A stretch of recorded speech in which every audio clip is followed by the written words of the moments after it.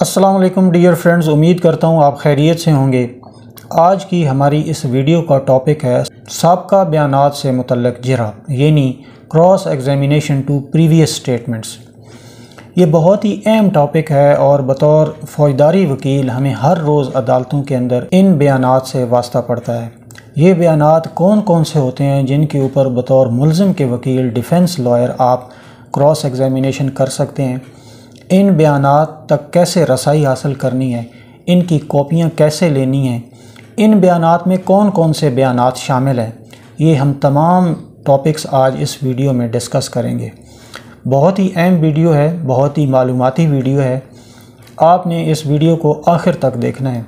और अगर आपको ये वीडियो पसंद आए तो आपने इसको लाइक करना है शेयर करना है, और मेरे इस चैनल को सब्सक्राइब करना है। अपने टॉपिक की तरफ़ आते हैं। किसी भी मुकदमा के अंदर जो मुलम के ख़िलाफ़ शहादतें पेश की जाती हैं, उनमें सबसे अहम जो शहादत होती है वो गवाहों के बयान होते हैं, जो उन्होंने पुलिस के रूबरू दौरान तफ्तीश दिए होते हैं। अगर किसी मुदई की तरफ़ से इस्तगासा फ़ाइल किया गया है तो इस्तगासा की सूरत में भी जब मुलजमान की तलबी की जाती है तो उससे पहले मुदई और उसके गवाहान के बयान सरसरी तौर पर लिखे जाते हैं। जब मुलजिम का ट्रायल किसी मजिस्ट्रियल कोर्ट में चल रहा हो तो 241 ए और जब ये केस सेशन कोर्ट में चल रहा हो तो 265 सी के तहत ये जितने भी स्टेटमेंट्स ऑलरेडी रिकॉर्ड हो चुके होते हैं, उस केस में शहादत कलम बंद होने से कम अज़ कम सात दिन कबल उस जो है मुलजिम को दिए जाते हैं। ये बयान उन तमाम लोगों के होते हैं जो दौरान तफ्तीश उस केस के सिलसिले में शामिल तफ्तीश होते हैं। खा इन गवाहान का नाम खाना गवाह में शामिल हो या ना हो, इनका नाम चलान में शामिल किया गया है या नहीं है, या जो इस्तगासा के साथ लिस्ट ऑफ़ विटनेसेस दी गई है। उसमें इनका नाम है या नहीं है, मुलजिम का ये हक पहुँचता है कि तफ्तीश के दौरान या इस्तगासा की इब्तदाई कार्रवाई के दौरान जो गवाहान उसके ख़िलाफ़ पेश हुए उन तमाम गवाहान के बयान की कापी उसको मुहैया की जाए। क्योंकि मुलजिम का ये हक है कि वो ये जान सके कि कौन सा गवाह शामिल तफ्तीश हुआ है और उसने उसके ख़िलाफ़ क्या बयान दिया है? ये ज़रूरी नहीं है कि वो तमाम अशखास जो बतौर गवाह शामिल तफ्तीश हुए हैं और उनका बयान लिखा गया है पुलिस सबको चलान का हिस्सा बनाए और सब का नाम खा, खाना गवाहान में लिखे। लेकिन हम देखते हैं कि मुलजिम को सिर्फ़ वही कापियाँ दी जाती हैं बयान की जिनका नाम चलान के खाना गवाहान में होता है। और कोई ऐसा गवाह कोई ऐसा शख्स जो इस मुकदमा की तफ्तीश के दौरान शामिल तफ्तीश हुआ है और उसका नाम चलान के लिस्ट में शामिल नहीं है।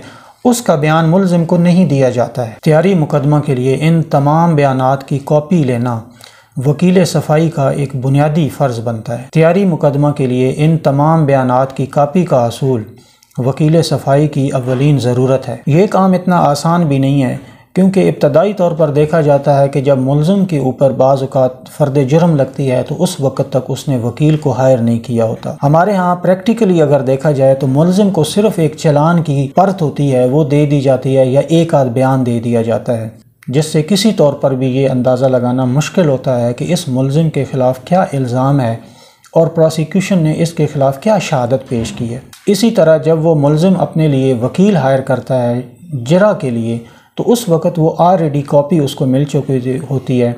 और पुलिस फ़ाइल जो है वो भी चूँकि जो नुमाइंदा पुलिस होते हैं, उनके कब्ज़े में होती है। तो उसके लिए जो वकील सफ़ाई होते हैं, उनके लिए बड़ा मुश्किल हो जाता है कि दोबारा से कॉपी हासिल करना। इसलिए जो वकील सफ़ाई हैं, उनको बाज़ात एप्लीकेशन देना पड़ती है कि जी मुझे कॉपियाँ प्रोवाइड की जाएँ। और अगर वो कॉपियाँ उसको नहीं मिलती हैं तो फिर उसको निगरानी के लिए हायर फोरम पर जाना पड़ता है। अगर इब्तदाई अदालत उसे तमाम कापियाँ देने के हक़ में ना हो तो फिर उसे अदालत बाला में, यानी हायर फोरम के ऊपर निगरानी लगानी पड़ती है, ताकि उसे कापियाँ मिल सकें। एक बड़ी अहम बात यह है कि 1945 में सीआरपीसी के अंदर एक तरमीम की गई, और उसमें यह कहा गया कि कोई भी शख्स जो शामिल तफ्तीश होता है, उसका 161 लिखा जाना चाहिए और ज़मनी से अलग बयान लिखा जाएगा।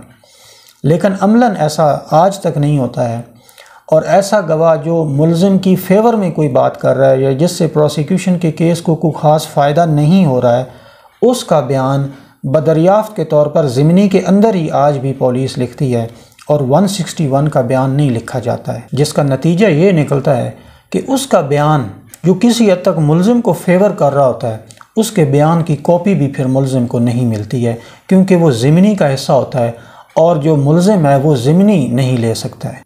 लेकिन कानून ये कहता है कि कोई भी ऐसा बयान जो चाहे ज़िमनी का हिस्सा हो या वो 161 की सूरत में हो, वो मुलजिम को उसकी कॉपी हर सूरत मिलनी चाहिए। इसलिए अगर आप बदरियाफ़ वाला बयान लेना चाहते हैं और प्रोसिक्यूशन की तरफ़ से इसके ऊपर एतराज़ किया जाता है तो कानूनी तौर पर आप वो बदरियाफ़ वाला बयान भी ले सकते हैं। कभी कभी ऐसा होता है कि मुलजम, जो के गवाहान की तादाद एक से जायद होती है और तमाम गवाहान चूँकि एक ही तरह का बयान दे रहे होते हैं तो उनका एक मुश्तरका बयान लिख लिया जाता है। और ऐसे गवाह का जो मुश्तरका बयान होता है, उसकी कॉपी भी मुलम को इस बहाने नहीं दी जाती है कि अलग अलग बयान तो है नहीं, लिहाजा इकट्ठा बयान आपको नहीं दिया जा सकता। फिर रिपीट करूँगा कि कोई भी बयान किसी भी शक्ल में हो, वो मुलम का राइट है और वो उस बयान की कॉपी ले सकता है। एक और बड़ी अहम बात कि किसी केस के अंदर अगर एक से जायद मुलजमान गिरफ़्तार किए गए हैं तो जब पुलिस मुलजम को गिरफ़्तार करती है तो उसका एक बदरियाफ्त का बयान लिखा जाता है। यानी जैसे ही वो गिरफ़्तार होता है, फौरी तौर पर उसका एक बयान लिखा जाता है। फिर उसका कोई नई चीज़ बरामद होती है, कोई नया इंकशाफ होता है तो उसका हर तारीख के, हर हिसाब, इस हिसाब से उसका बयान कलम बंद किया जाता है। तो अगर मुलम अपने बयान में किसी दूसरे मुलम के के हक की कोई बात कर रहा है, उसके फ़ायदे की कोई बात कर रहा है तो मुलजमान का ये जो बयान होता है, ये भी मुलम अगर लेना चाहे तो उसके कानूनी तौर पर कोई पाबंदी नहीं है और उसका हक है कि दूसरे मुलम का कोई ऐसा बयान जो उसकी फेवर कर रहा है वो बयान वो हासिल कर सकता है। इसी तरह ये एक बात वाज करता चलूँ कि पुलिस ज़िमनी के अंदर प्रोसिक्यूशन के अगर किसी गवाह का बयान लिखा गया है और अलग से 161 नहीं लिखा गया है तो ये ना तो प्रोसिक्यूशन के केस के किसी तरह से इस्तेमाल हो सकता है और ना ही ऑन रिकॉर्ड आ सकता है। इसी तरह कानून शहादत के तहत कोई भी ऐसा बयान जो मुलजिम ने पुलिस कस्टडी के दौरान दिया है, वो भी मुलजिम के ख़िलाफ़ यकसर तौर पर इस्तेमाल नहीं किया जा सकता। ऐसा इकबाली बयान जो मुलम ने दिया है, ना तो प्रोसिक्यूशन के फेवर में इस्तेमाल हो सकता है और ना ही ऐसे मुलम के बयान को ऑन रिकॉर्ड लाया जा सकता है। और ना ही ऐसा बयान जो पुलिस कस्टडी में दिया गया है प्रोसिक्यूशन के लिए एज ए कॉरपोरेटरी एविडेंस पेश किया जा सकता है। लेकिन ये पाबंदी मुलजिम के लिए नहीं है। अगर किसी मुलजिम ने ऐसा बयान दिया है, जिससे दूसरे मुलजिम को फ़ायदा हो रहा है या उसने यो जो बयान दिया है, उससे सेल्फ़ डिफेंस की कोई सूरत नज़र आ रही है। उससे इश्ताल गैरत की कोई सूरत नज़र आ रही है। सडन प्रोवोकेशन की सूरत हाल नज़र आ रही है। तो मुलम ऐसे बयान को अपनी फेवर में ऑन रिकॉर्ड लेके आना चाहे, अपने मामला की तइद के लिए ऑन रिकॉर्ड लेके आना चाहे तो उसके लिए पाबंदी नहीं है, वो ऑन रिकॉर्ड लेके आ सकता है। लिहाजा जो इब्तदाई कोर्ट के जज होते हैं, जो उस मुकदमा की समात कर रहे हैं, उनको चाहिए कि वो चीज़ें जिनको वो ज़रूरी समझते हैं उस रिकॉर्ड को देख के, वो तफ्तीशी अफसर पर सवाल कर सकते हैं और इन सवालात की सूरत में वो उस चीज़ को ऑन रिकॉर्ड लेके आ सकते हैं ताकि इंसाफ के तकाजे पूरे हो सकें। ऑनरेबल कोर्ट ने यहाँ तक हेल्ड किया है कि अगर इब्तदाई अदालत के जज साहब पुलिस फ़ाइल पढ़ते हैं और उनके ऊपर किसी अहम, कोई अहम इंकशाफ होता है तो उनको चाहिए तो वो मुलम के वकील की रहनुमाई भी कर सकते हैं। ताकि मुलम के वकील जरा के दौरान वो ज़रूरी सवाल कर सकें और इस सिलसिले में जो ज़रूरी शहादत होती है वो पेश कर सकें। सरकारी मुलाजमीन की तरफ़ से जो केस रजिस्टर्ड होते हैं बाज़ात उनमें पर्चा दर्ज होने से पहले कुछ महकमाना कार्रवाइयाँ होती हैं जिनमें उनके बयान लिखे जाते हैं और इन कार्रवाइयों में जो है वो गवाहान के बयान लिखे जाते हैं। लेकिन जब police F I R register करती है और तफ्तीश करती है तो फिर वो अपनी मर्ज़ी से गवाहान के बयान की तरतीब मुरतब करती है। इसी तरह जब पुलिस तफ्तीश के दौरान जो गवाहान के बयान हैं, उनमें अगर कोई बनावट करेगी, कोई कोई मिलावट करेगी तो जो पुलिस के लिखे हुए बयान हैं और जो महकमाना कार्रवाई के दौरान लिखे गए बयान हैं, उनमें काफ़ी हद तक इख्तलाफात पाया जाता है। ऐसी सूरत में इंसाफ का तकाजा और कानून की मंशा भी यही है। डियर फ्रेंड्स आज हमने जो प्रीवियस स्टेटमेंट की बाबत बात की है, ये वो तमाम बयान हैं जो अपनी इस वीडियो के अंदर हमने डिस्कस किए हैं। मुलम इन तमाम बयान की कॉपी ले सकता है और जब ये मुलम के वकील के पास तमाम बयान सामने होंगे तो मैं यकीन से बता सकता हूँ कि जो क्रॉस एग्ज़ामिनेशन होगा, उनमें बहुत सारी खामियाँ प्रोसिक्यूशन की ऐसी सामने आएँगी, जिसका फ़ायदा बरह रात मुलजिम को पहुंचेगा।